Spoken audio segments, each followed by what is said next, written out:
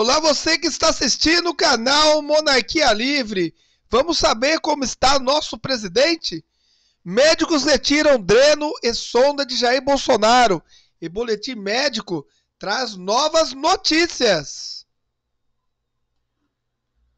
No comunicado divulgado pela equipe médica, consta que o paciente apresentou evolução clínica.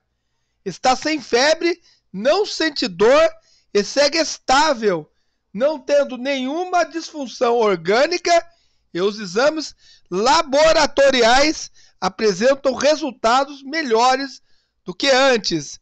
E você gostou das notícias de Jair Bolsonaro?